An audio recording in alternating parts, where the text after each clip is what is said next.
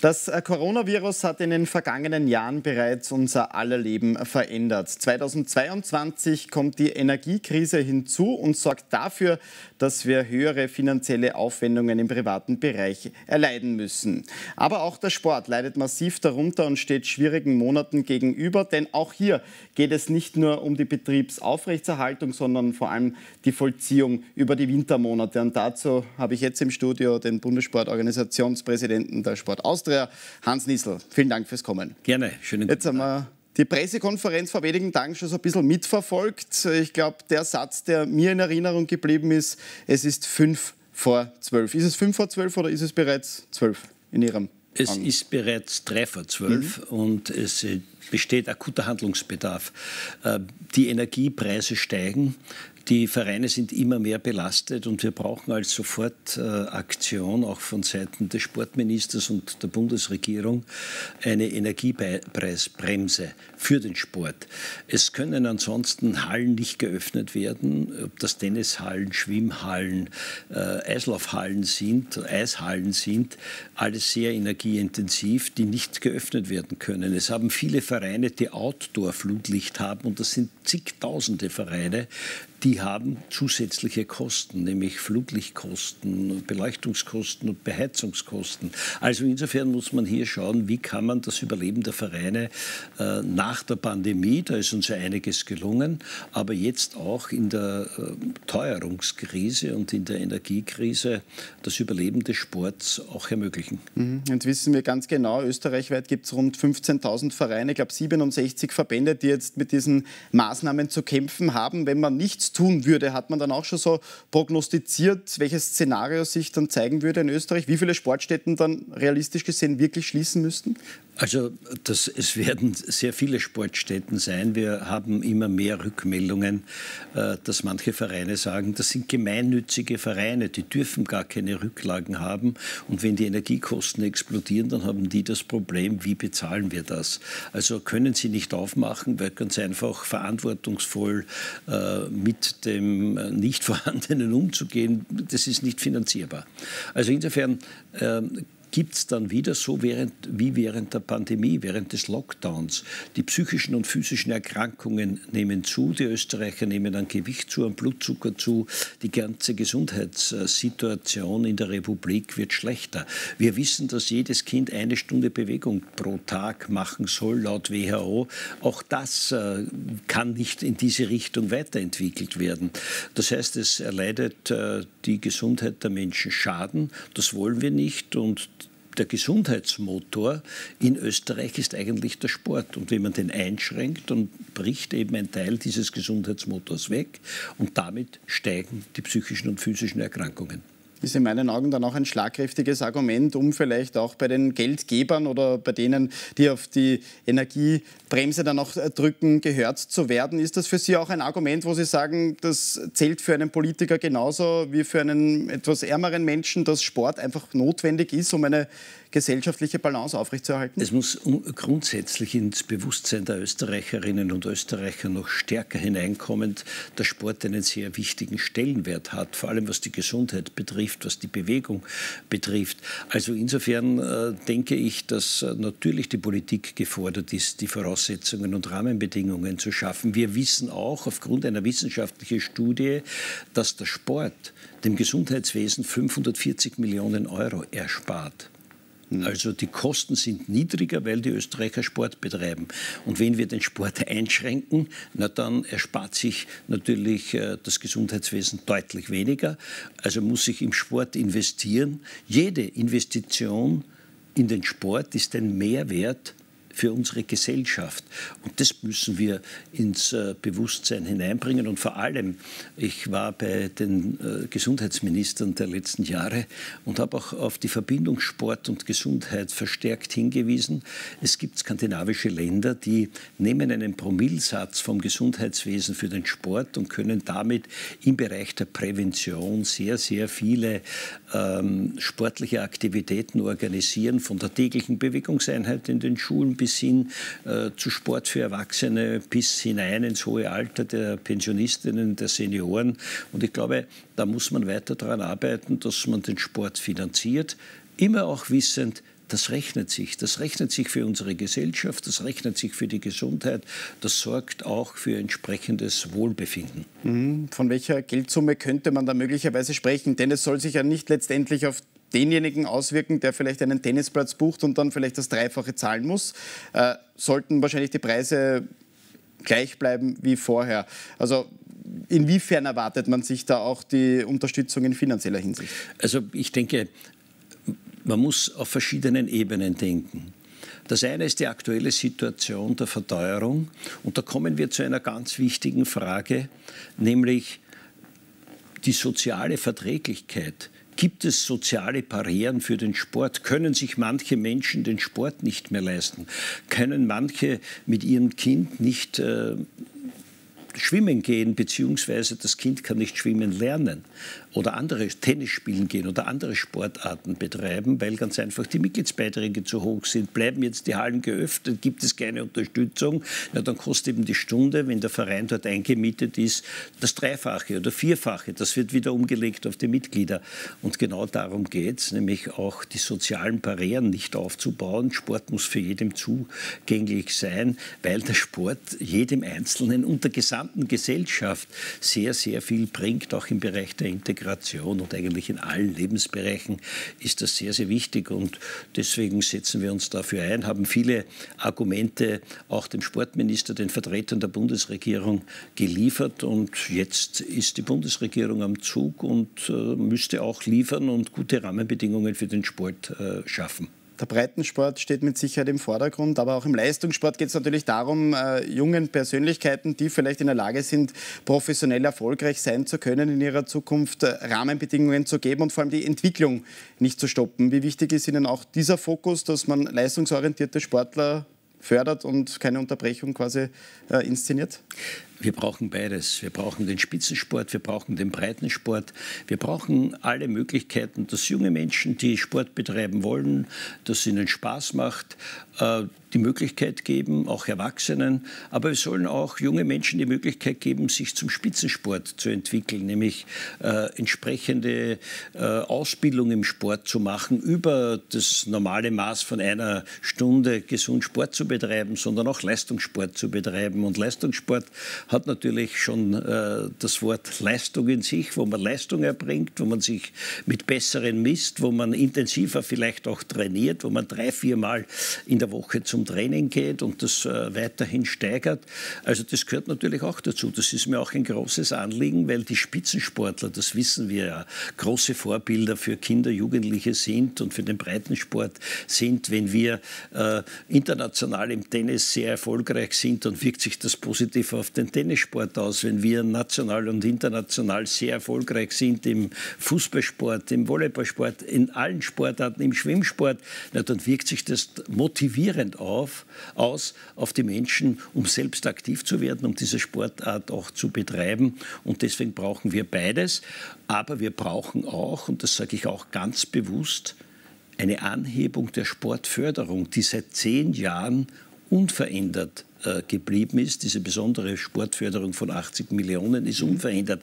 Und da haben wir auch alle Unterlagen äh, den Vertretern der Bundesregierung geliefert und äh, sind überzeugt davon, dass das auch so gesehen wird, dass es eine deutliche Erhöhung braucht, damit eben nach zehn Jahren äh, der Breitensport, der Spitzensport entsprechend gefördert, unterstützt wird, dass die Rahmenbedingungen für die Dach- und Fachverbände verbessert werden und dass die Angebote, und das ist das Entscheidende, für die Österreicherinnen und Österreicher nicht reduziert werden müssen, sondern wir müssen schauen, wie können die Menschen mehr Bewegung machen. Die Vielfalt des Sport bietet jeden einzelnen Österreicher die Möglichkeit, ähm, nach seinem Talent, nach seinen Vorstellungen, nach seiner Sympathie Sport zu betreiben.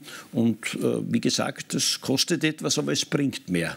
Sportförderung haben Sie auch genannt, wo man ein Kontingent äh, pro Jahr zur Verfügung gestellt bekommt, was Ihrer Meinung nach nicht mehr ausreichend ist. Sie haben gesagt, die Gespräche laufen, die Papiere liegen mehr oder weniger auch schon am Tisch. Von welcher Summe sprechen wir da? Von von welchem prozentuellen Anstieg, den Sie sich vielleicht auch erhoffen? Also wir haben in den letzten zehn Jahren unverändert 80 äh, Millionen Euro an Sportförderung bekommen. Wie gesagt, Sport bringt dem Gesundheitswesen 450 Millionen. Also ähm, insofern ist hier auch das in Relation zu setzen. Nämlich jede Investition in den Sport bringt viel für die Gesundheit. Und deswegen äh, denke ich, dass wir über Summen zwischen 120, 130 Millionen reden sollten, äh, wo eben die, die Vereine äh, die Möglichkeit haben, entsprechende Investitionen zu tätigen, um das Sportangebot noch weiter einerseits zu erhalten, andererseits zu attraktivieren und auch nachzudenken, wie man vielleicht die Sportförderung dort und da verändert. Ich glaube, da ist jetzt auch eine Evaluierung notwendig. Und ich persönlich bin der Meinung, und das werden wir vielleicht auch noch diskutieren, dass man von diesen Förderwesen abgehen sollte und Leistungsvereinbarungen mit dem Sport auch machen sollte. Nämlich der Sport leistet sehr viel in verschiedensten Bereichen und das soll in entsprechender Form auch äh, entschädigt werden. Also Leistungsvereinbarungen auch für den Sport, das wäre ein neuer Weg. Den Förderungen, da äh, fühlen sich manche als äh, Bittsteller und der Sport kann durchaus selbstbewusst sagen, wir bringen unserer Gesellschaft weit mehr, als wir bekommen und unsere Leistungen in entsprechender Form abzudecken.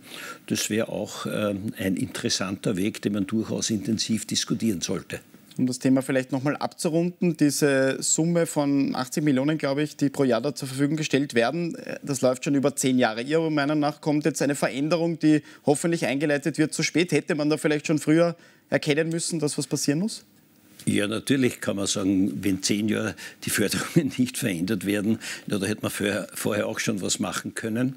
Das ist natürlich richtig. Es resultieren daraus im Sport natürlich auch Probleme, denn man kann sich vorstellen, dass der eine oder andere Verband äh, natürlich äh, schon sehr an der Belastungsgrenze steht, an der finanziellen Belastungsgrenze, dass es unzufriedene Verbände gibt. Denn das System ist auch so, dass natürlich Leistung honoriert wird. Dazu stehe ich, denn im Sport ist Leistung ganz, ganz wichtig und manche Verbände, die sehr erfolgreich waren, haben sehr viel Geld, also mehr Geld bekommen. Auf der anderen Seite gibt es Verbände, die durchaus auch im Breitensport sehr erfolgreich waren, aber die haben dann weniger bekommen, weil eben die 80 Millionen limitiert sind. Und daraus resultiert natürlich auch eine gewisse Unzufriedenheit. Und diese Aufstockung, glaube ich, ist äh, sehr wichtig. Aber ich möchte doch auch eines noch dazu sagen.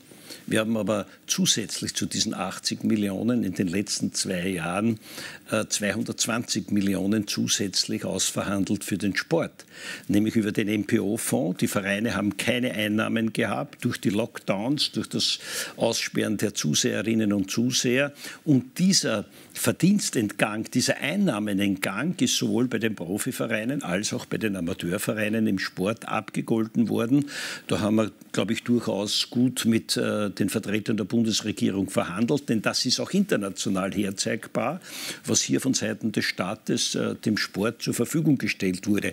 Also insofern muss man schon auch äh, diese nicht unwesentliche Summe, muss man sagen, sehen, die durch Einnahmenverluste natürlich auch entstanden ist. Und ich muss auch eines noch dazu sagen, bei den Abrechnungen habe ich nicht gehört, dass es da in irgendeiner Form Probleme gegeben hat. Also da gibt es keine Rückförderung. Das wurde sehr transparent und ordentlich, wie sich das im Sport gehört, äh, auch abgerechnet. Also insofern äh, ist einiges passiert. Wir haben 9 Millionen auch zusätzlich bekommen für den Verlust an Vereinsmitglieder, um Vereinsmitglieder wieder zurückzuholen. Wir haben 6,5 Millionen äh, zusätzlich bekommen für die tägliche Bewegungseinheit, für die Pilotregionen, die jetzt in ganz Österreich, in jedem Bundesland starten. Also insofern hat es doch auch während des Lockdowns viel Arbeit gegeben, um das Überleben der Vereine auch zu sichern.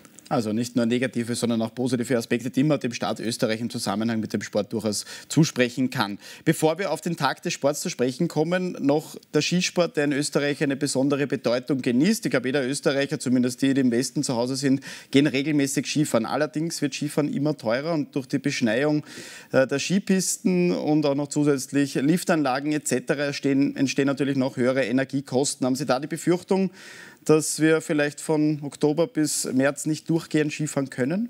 Also der Skisport ist ein wunderschöner Sport. Er ist auch ein Volkssport in Österreich. Er ist ganz, ganz wichtig für die sportliche Betätigung der, der Österreicherinnen und Österreicher, der jungen Menschen. Und natürlich äh, gibt es äh, Herausforderungen. Wir sind aber auch hier Sport Austria dabei mit der Wirtschaftskammer gemeinsam.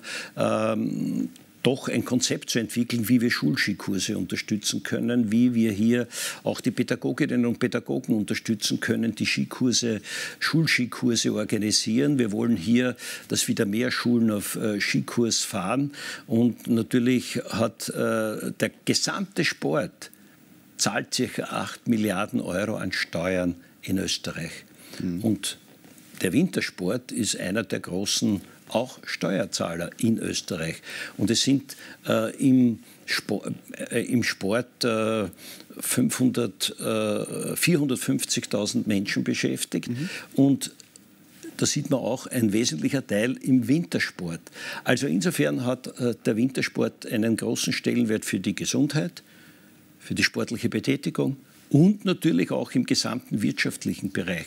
Da kommen viele Einnahmen herein, eine große Wertschöpfung auch es ist gut für die Wirtschaft, es ist gut für den Tourismus und deswegen äh, müssen wir alle sparen im Bereich der Energie. Also da wird sich äh, der Wintertourismus natürlich auch Gedanken machen, wie können wir Energie einsparen. Der gesamte Sport muss sich Gedanken machen, wie kann man Energie einsparen, das ist gar keine Frage. Wie kann man ökologischer auch den Wintersport betreiben, wie kann man nachhaltiger den gesamten Sport betreiben mit Einsatz erneuerbarer Energie zum Beispiel, mit Wärmepumpen. Wir haben ja tausende Gebäude in Österreich, die die man durchaus ein bisschen besser Wärme dämmen kann, Photovoltaikanlagen errichten kann, einen Beitrag zum Klimaschutz leisten kann. Wir bekennen uns dazu, dass auch der Sport äh, in diese Richtung denkt und handelt.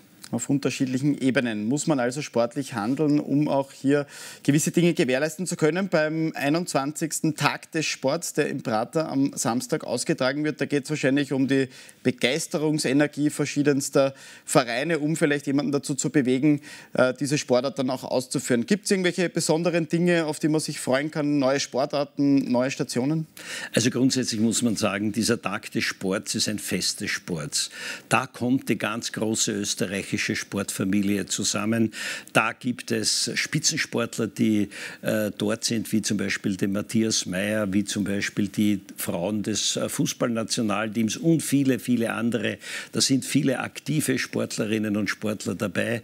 Und da werden alle Sportarten, alle Dachfachverbände, äh, der Heeressportverein, die Sportlerinnen und Sportler des Innenministeriums äh, vertreten sein. Wir rechnen bei gutem Wetter mit, mit einem sehr großartigen regelmäßigen äh, Besuch.